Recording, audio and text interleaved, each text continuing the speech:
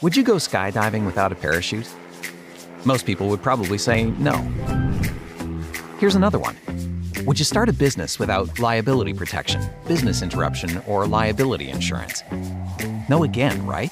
Surprisingly, 75% of small businesses in the United States are underinsured or have no insurance at all.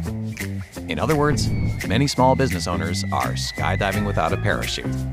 Luckily, all you may need is a business owner policy, or BOP, to help avoid making the same mistake.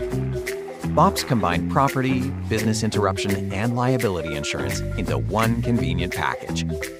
Finally, with a BOP at your back, you may be better protected in the event of a formal lawsuit or a third party claim. Be smart.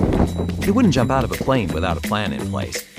So don't take the plunge into business ownership without protection.